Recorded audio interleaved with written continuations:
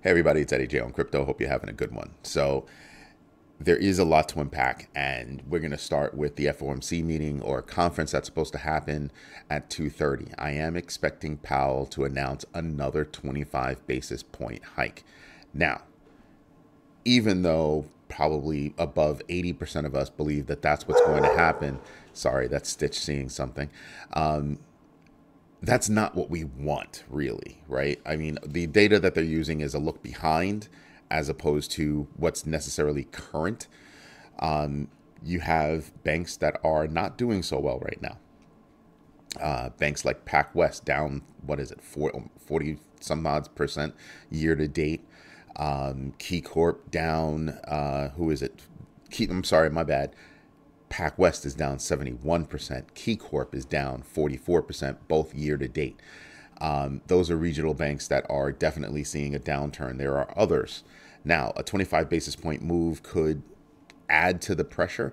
I also think that the 25 basis point move is definitely going to push us into a deep recession as opposed to just a recession. So those are those are one of those are some of the reasons why I'm hoping that it's I'm I'm still holding out hope um, even though I know damn well it's going to be a 25 bip move. Um, ARK Invest, Cathie Wood, you go on, girl. Coinbase is faced with a lot of you know regulatory woes, right now. They're going up against the SEC. They've been accused of you know uh, insiders using information to pull out um, of shares. They're being accused of storing biometric information um, illegally. So they've got a lot of problems going on. And what does that do? It causes a downturn in the stock. So buy in. That's what she did. Smart.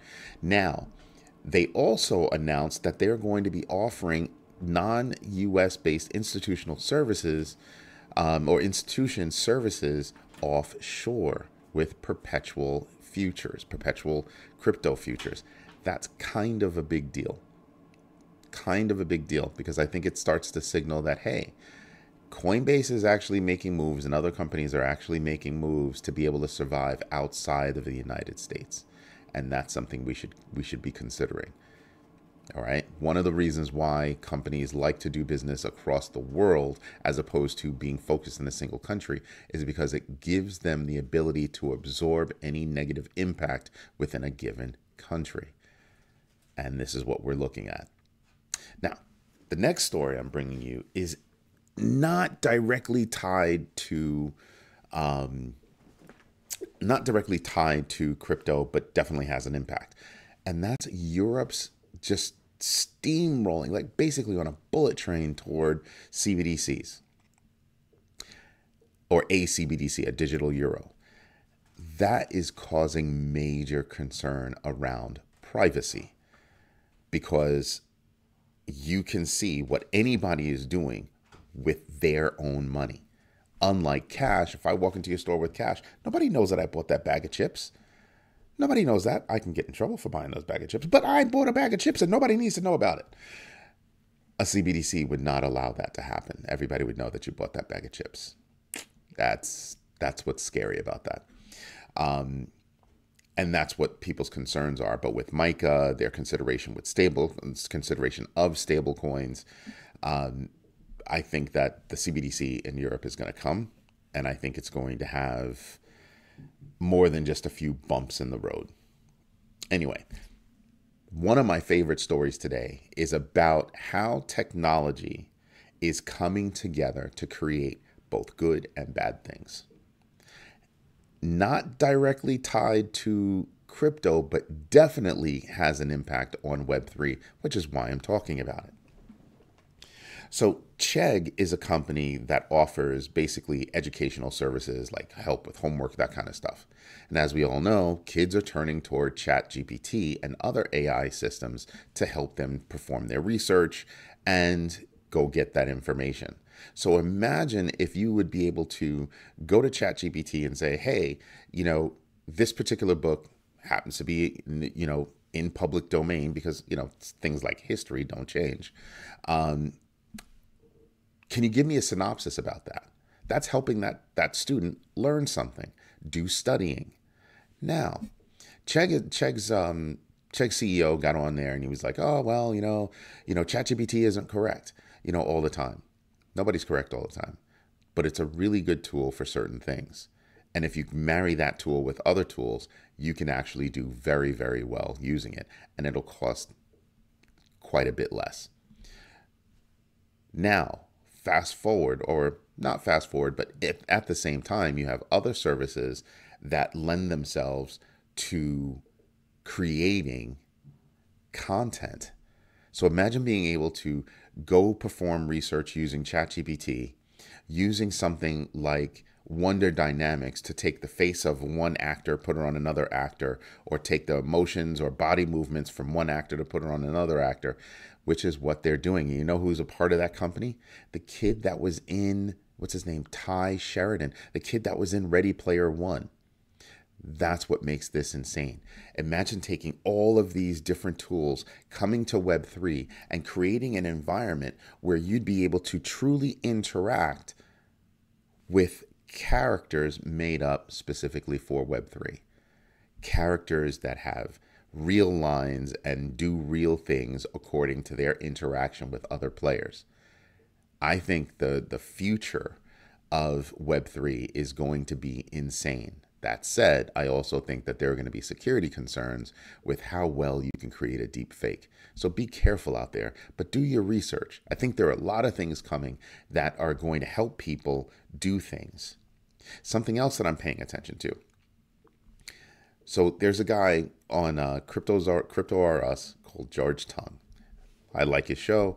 Um, I don't believe in everything that he says, but I do like his show. I think he's very informative. Seems like a cool dude. Um, but he was involved in a show that's basically like Shark Tank. You're going to come in as you know a, a, a uh, crypto project, and they're going to judge your crypto project.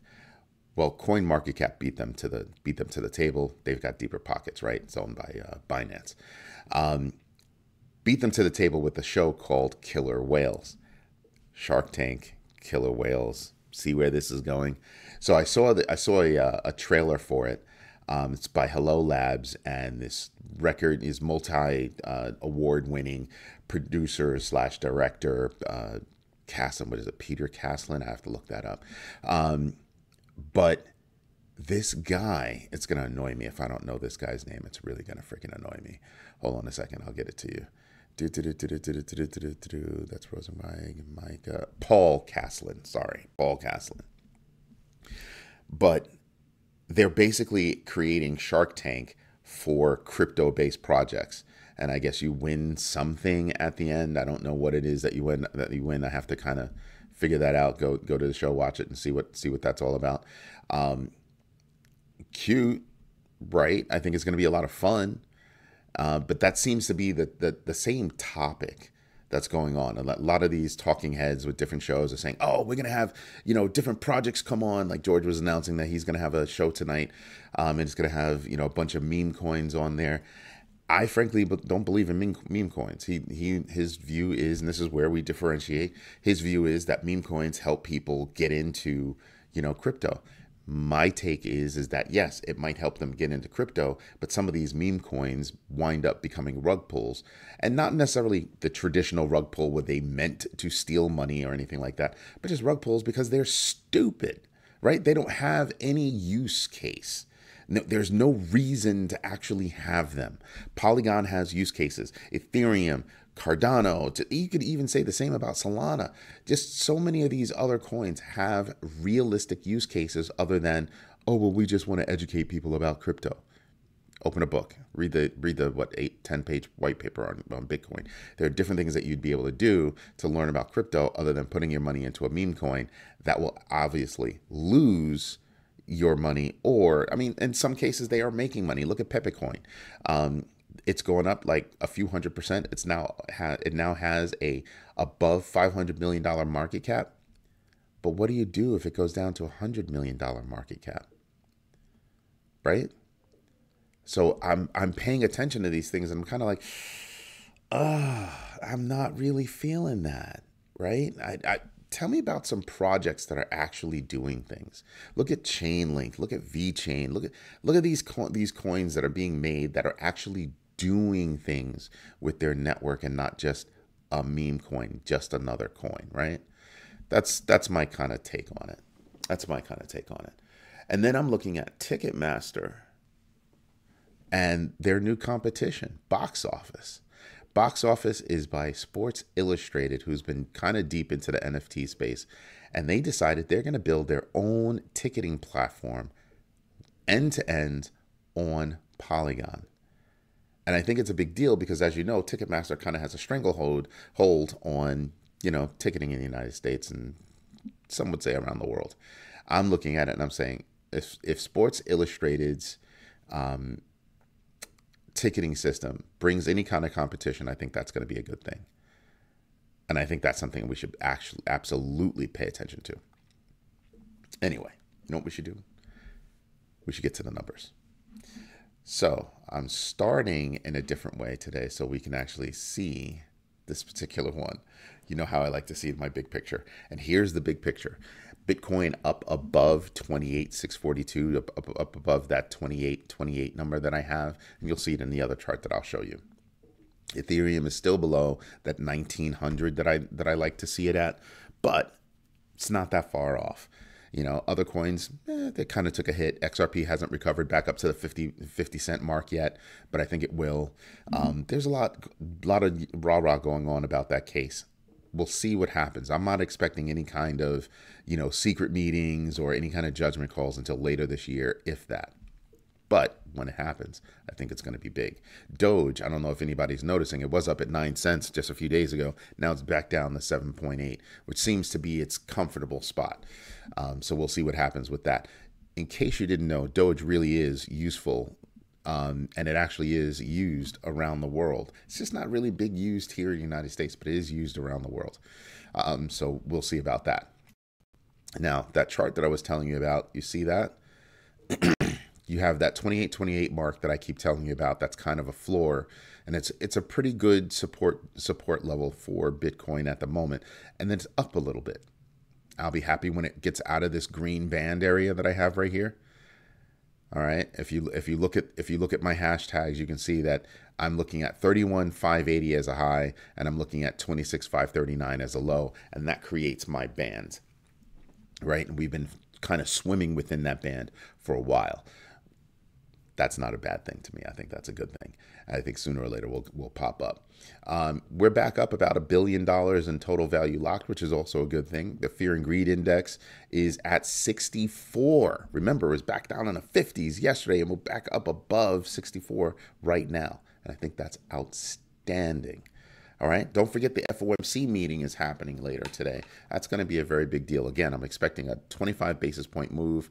Um, I wish it wasn't, but I think we're going to see that 25 basis point move, and I think you'll see a pop in the market. But I also think it's kind of factored in already, so we'll see how that goes. If you're if you're into the stock thing for for crypto, I think you're going to see a nice little pop off of that. Anyway, this is Eddie Jay on crypto. I hope you have a great day. I hope my research helps you. Um, let's keep going on the journey. Have a good one. Bye bye.